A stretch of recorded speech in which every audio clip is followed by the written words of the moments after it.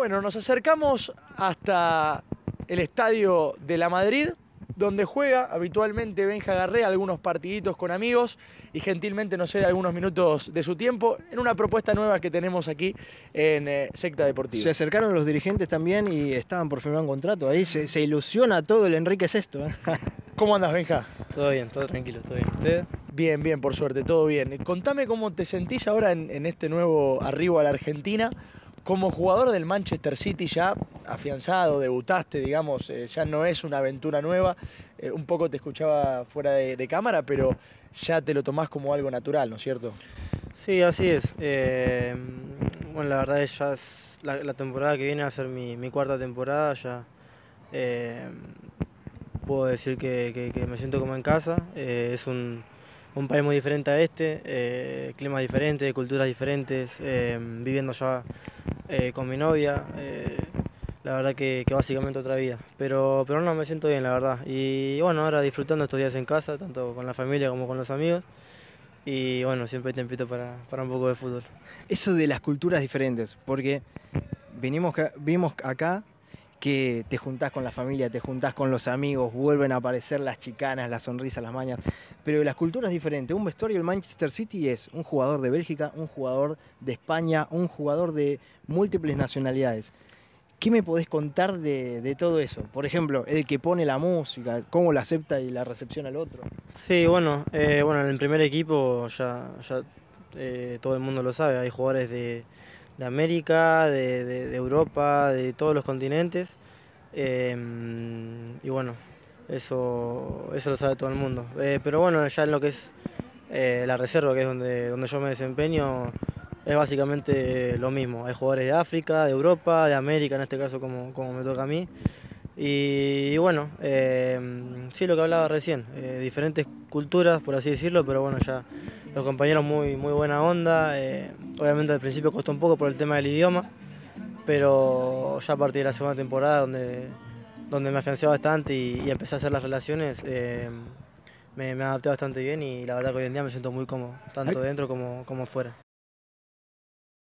¿Sabes que hay una frase? En el fútbol hay frases hechas, ¿no? Por ejemplo, hay infinitas. Pero también una de las personalidades más destacadas del deporte, que a una persona le dijo, te ahogaste la c de tu hermana. ¿eh? ¿Vos sabés algo de esta, de esta frase? Sí, sí, fue en la pretemporada en Estados Unidos, eh, bueno, cuando hice mi debut. Eh, fue en el tercer partido contra el Bayern de Múnich. Y bueno, no, no iba a entrar, faltaban creo que 5 o 6 minutos para que termine el partido. Yo ya estaba básicamente yendo a caminar al banco porque dijeron que no iban a hacer más cambios. y de repente, bueno, el chico Phil Foden, que ya hoy tiene su nombre en el City, eh, tuvo una molestia y tuve que entrar y no, no estaba en calor, no, no, estaba frío. Y bueno, tuve que entrar y jugar a ese ritmo, la verdad que si no estás en calor Sí. es básicamente muy, muy, muy difícil. Y bueno, en un pique donde tuve que proteger la pelota, se me escapó el lateral, por suerte ganó un lateral porque si no se avanzaban de contra y eh, tenía a Pep al lado y se me escapó, ¿qué hago que tengo la c- de la lora?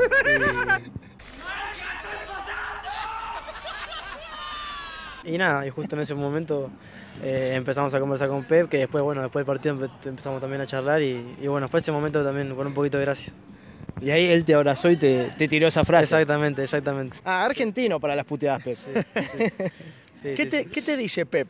¿Cómo fue la primera vez que hablaste con él eh, directamente, cara a cara? Creo que la primera vez él, él te mencionó como el argentino, todavía no tenía un- un- una noción completa de- del futbolista Benjamín Garré. Sí, eh, bueno, fue cuando tenía 16 años. 16 años. Eh, bueno, hoy estoy a un mes de cumplir 19, pero en ese momento fue cuando mi primer entrenamiento con la primera del City, que tenía 16 años. Y mm, obviamente él me conocía, pero en ese momento me dijo, vos sos el argentino. Yo le dije que sí, bueno, esa fue la primera vez cuando me encontré con él en, dentro de un entrenamiento. todo cagado. A Un ver, poquito. te viene Pep Guardiola. Sí, Ganó todo. Sí, sí, soy el argentino. Sí, sí, ah, ¿me, con- me conocés en serio? Sí, sí, un poquito. Eh, Qué bárbaro. ¿Y quién fue el primer compañero que te asombró ahí en el entrenamiento? Cuando tenías 16 años y en el picado el que vos dijiste, uh, este es distinto, o qué ritmo que tienen. Y en ese momento yo creo que Silva, mismo hoy en día. Eh, yo creo que es- tiene una técnica increíble. Impresionante. Sí, y bueno, lo sigue mostrando hoy en día. Aparte elegiste uno zurdo como vos también. Ah, sí, sí, sí, no, me encanta mucho cómo ¿Y juega. el Kun?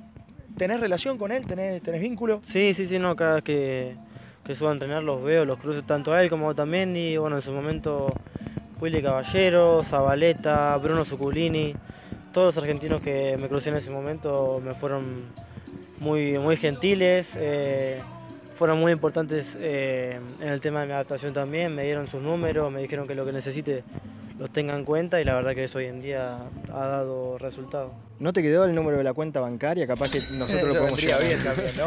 No, pero ¿cómo se vivía el fútbol argentino en tus, en tus compañeros argentinos, en tus compatriotas y también el, el extranjero, cuando lo veían y demás?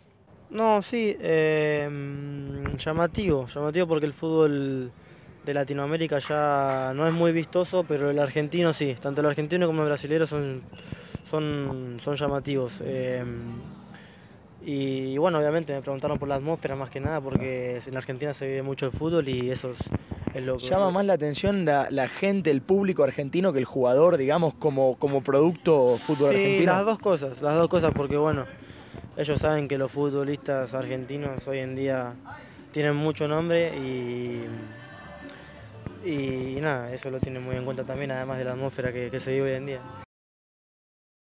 Eh, ¿Sabés, Benja, que hay una persona por la cual no te puedo dejar de preguntar? Fuiste sparring de la selección, compartiste y te sacaste fotos con, con el 10. Sí. Eh, sí, sí, sí, una, lo- una locura. Bueno, en ese momento cuando... ¿Cómo es que te pida una foto, Messi? No. Después te cuento mi experiencia también. No, bueno, en ese momento, cuando le pedí la foto, estábamos merendando y ellos se que también en la merienda. Y bueno, dio la coincidencia que no sé por qué, terminé yo y terminaron ellos. Justo estaba con el Kun y yo al Kun lo conocía. Y yo con el Kun ya me iba a sacar una foto. Y lo veo al Kun, lo saludo, hola Kun. Y le pido la foto a Messi. Termino la foto con Messi y el Kun me dice, ah, a mí no me pedí más foto, ¿no? Me dice. Y encima tenés que volver y está él. Exacto, después allá, lo encuentro y también se toca un poco el tema. Pero una anécdota muy, muy divertida y, y bueno. ¿Te costó mucho la decisión de, de- de partir? Yo creo que no, en ese momento estaba muy... Yo creo que en ese momento era cuando estaba cambiando mi chip, ¿no? Eh, yo creo que en ese momento, cuando surgió esa oportunidad, era cuando en mi cabeza ya estaba pensando en... en ¿Cómo fue esa en dar el salto, Sí. eh, en dar el salto, en, en- en vivir esta profesión, ¿no? Capaz que de pequeño yo en ese momento era, lo hacía como un hobby. Claro. Hasta que de repente me empecé a dar cuenta que el trabajo era, como, era un trabajo y bueno, yo hoy en día lo vivo con, con, mucha, con mucha responsabilidad y en ese momento yo creo que era la mejor opción para mi carrera. Porque un tiempo atrás había sido a probarte al Manchester de la otra Así ciudad, es. al Manchester Al- United. al- United. es, sí, así es. En un torneo en Córdoba con 14 años me vio un scout del United y bueno, me tocó viajar con 14 años, casi 15. Con 15 volví a viajar y bueno, por una razón que otra no, no se pudo concretar el fichaje, por así decirlo, y ahí fue cuando apareció el Manchester City y terminé eh, fichando por ellos. Estaba jugando en Vélez en ese momento, ¿no es cierto? Así es. Eh, compañeros, Tiaguito Almada, por ejemplo. Tiaguito Almada, sí, he compartido entrenamientos con él, eh, prácticas, partidos no, porque bueno, él es un año más chico que yo y en ese momento eh, lamentablemente no me tocó compartir con él, pero bueno, es un, un chico con el que tengo muy buena relación y hoy en día hablo, hablo con él. ¿Quiénes más estaban? Linda banda ahí. Lo dejó Sí. morir acá en el Babia, ¿no vino hoy? No vino, Ah, pero no pasa Tiaguito. nada. Eh, hoy en día Álvaro Barrial, eh,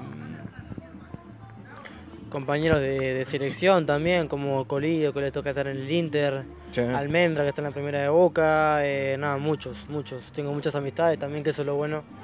Y, mm, y bueno, es lo que también rescato además de, de la profesión. Hoy estamos en 24 de mayo del 2019. ¿Vos te acordás lo que escribías un 31 de diciembre de 2018?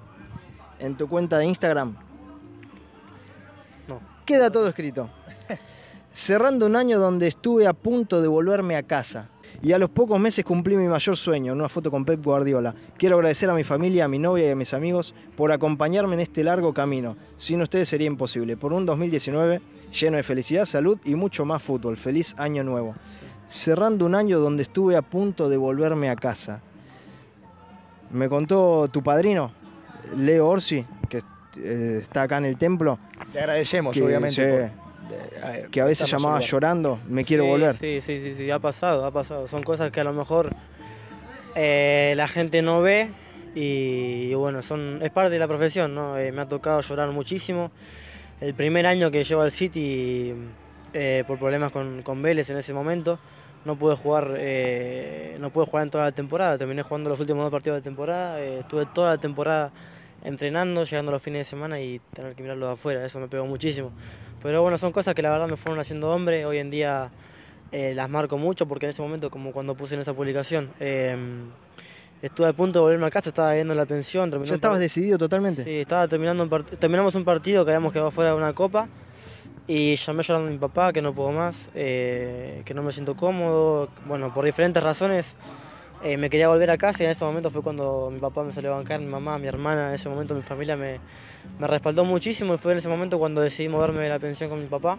Mi papá dejó de trabajar por, por, por acompañarme a mí y es algo que, que, bueno, hoy en día me emociona mucho, ¿no? Eh, y, y nada, hoy en día lo- se lo agradezco tanto a él como a todos y eh, nada, hoy en día viviendo con mi novia también se lo agradezco a ella, eh, estoy disfrutando mucho de mi presente y eso es muy lindo. Lo fundamental de la compañía, ¿no? Y en ese momento que el pibe lloraba en la habitación, después hay un camino, hay un, todo un sacrificio que el que abandona no tiene premio, dice la canción. Así Y vaya el premio que tenés. Guardiola, Salah, contra Álava en el Bayern Múnich. ¿Qué fue cuando vos habías pasado por todo eso y después estás viviendo ese momento? No, en ese momento la verdad que es, básicamente inexplicable, ¿no? En ese momento yo estaba viendo un sueño. eh, eh, yo creo que hoy en día eh, de los mejores recuerdos que tengo, como te contaba con, con el tema de cuando fui a Sparring, y sí, enfrentando jugadores como Salah, como Mané, eh, Álava, Coman también estaba en ese momento, que es uno de los mejores eh, extremos en la actualidad, lo sigo mucho. y nada, son experiencias que me llevo y la verdad que de las mejores que he vivido hasta el día de hoy. ¿Te ofrecieron jugar para la selección de, de Inglaterra o de otros países? De Italia.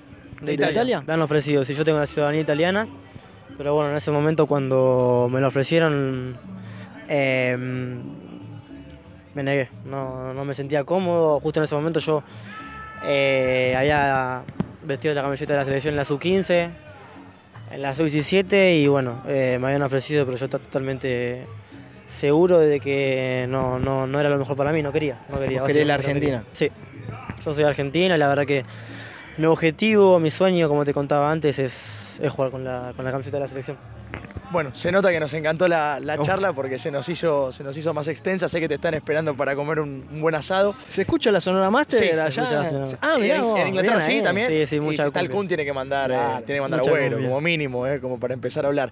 Una cortita de, de lo conjuntural, te hago, que me interesa realmente conocer tu opinión. ¿Te sorprendió lo de Zárate? Que se vaya de Vélez a, a Boca. Sí, sí, yo creo que sí. Eh, más que nada por lo que lo que él había dicho antes de- del pase a Boca, ¿no? Eh, él había dicho que, que el único club donde iba a jugar era en Vélez. Eh, después, eh, bueno, todo lo que pasó del pase, de jugar en contra de Vélez, de gritar el gol, son, son Impensado, ¿no? cosas que, exactamente, obviamente a uno, tanto a mí como a cada persona que, que, que le apasiona el fútbol, sorprenden y, y bueno, son, son cosas que, que- que- que sí, que sí, que mismo allá en ese momento pegaba. Yo estaba viendo el partido allá y cuando vi el penal de Mauro que lo así no lo podía No creer. lo podía creer. No lo podía creer. Pero bueno, son, son cosas que pasan acá, ¿no? Unas cortitas acá para el cierre, como siempre. Aparte, ideal esta cortina de la Sonora Master. Después tírennos un disco, algo para sortear. Nos llevamos A bien ver. con la gente de la Sonora igual. Sí. Sí, sí, cómo no. Por el fútbol, conocí a. Messi, Más o menos. por así decirlo, Messi. Gracias al fútbol estuve en. Que vos dijiste, no, mirá dónde estoy, loco, no, no lo puedo creer. Estados Unidos, Rusia. Rusia, Estados Unidos, Rusia. Em, sí, son los primeros que me vienen en la cabeza. Estuve bastante por bastante lados, pero son los primeros que me vienen en la cabeza. Por las experiencias más que nada, ¿no? Claro. Eh, pretemporada con primer equipo, sparring de la selección. Me, me guío en base a las experiencias. Plantel del sitio, quizás ex compañeros de las divisiones juveniles. Esto vos tenés que dar tu veredicto. ¿A quién seleccionás? Por ejemplo, viernes a la noche, está sonando la sonora, un asadito. Compañero para salir de joda que vos decís con este la rompo. Cuando se puede, ¿no? Aclaramos. Claro, cuando se puede. Contando el exterior. Todo, todo, Contando todo. Todo. Los- Y no he compartido experiencia con él, pero si tengo que elegir uno, yo. El Kun. Ahí está. El Kun Agüero, papá. Un tiempo, Muy esperá, bien. y ya va, ya va a llegar, imagino. Esas cositas lindas las quiero. Palabra en inglés que más usás. Em, Perfect. ¿Así Perfect. perfecto? Perfect.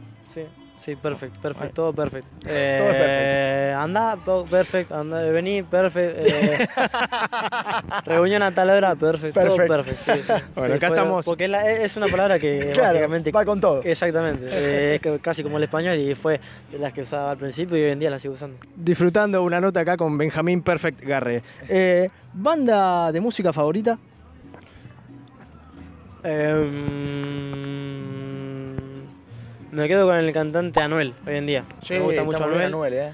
Anuel, Bad Bunny, me gusta mucho el reggaetón. ¿Ubicás al Churri Cristaldo que está siempre Sí, jodiendo con, conozco, con- Claro. No, porque- no, tengo relación, pero sé quién es. Pero pues, aparte en esa época, eh, volvió el Churri en esa, no, volvió después el Churri. El Churri jugó primero antes en Vélez. Claro. Eh, pero bueno, viste que el Churri ju- juega todo el tiempo con Anuel. Sí, sí, sí. Bueno, después me gusta, me gusta la cumbia también. eh, como hablábamos, la sonora. em, Leo Mattioli me gusta mucho. eh, no, hay de todo. Escucho- me gusta mucho la música, escucho todo. Bueno, y la Bueno, última, porque acá la banda Sí, también Aparte está... se va a enfriar la, la, asado, Olvídate, acá en el. Enrique Sesto se siente la presión. Gracias a la gente de la Madrid, por sí, cierto. sí, sí. En cinco años, Benjamín Garré, tres puntos, ¿y cómo lo vemos? ¿Cuáles son tus objetivos? Y donde lo merezca, yo creo que hasta donde lo merezca. Me veo, Dios quiera, jugando en Europa, eh, en una de las mejores ligas. Voy a, bueno, es, mi objetivo, ¿no? Mantenerme en Europa hasta el, hasta lo, hasta el máximo donde, donde, donde alcance y, bueno, me encantaría el día de mañana eh, poder volver a jugar a Argentina, ¿no? Eh, me gustaría eh, volver a vestir la camiseta de Vélez y yo creo que, que es uno de mis objetivos además de, de mantenerme en Europa. Benja, muchas gracias por este rato. A disfrutar ahora el asado y ojalá que lo disfrutes tanto como nosotros esta charla. Listo, muchas gracias y bueno, ojalá que el día de mañana podamos repetirla. La verdad que, bueno, y en Inglaterra. sí, Eh, allá. vamos ¿Por qué no? directamente. ¿Te parece? Sí, ¿Por quedamos no? así. ¿Cómo esa. Sí, sí, sí. Nada, te sí, perfecto. Perfecto. Ahí está, muy bien. Gracias, Benja. A ustedes.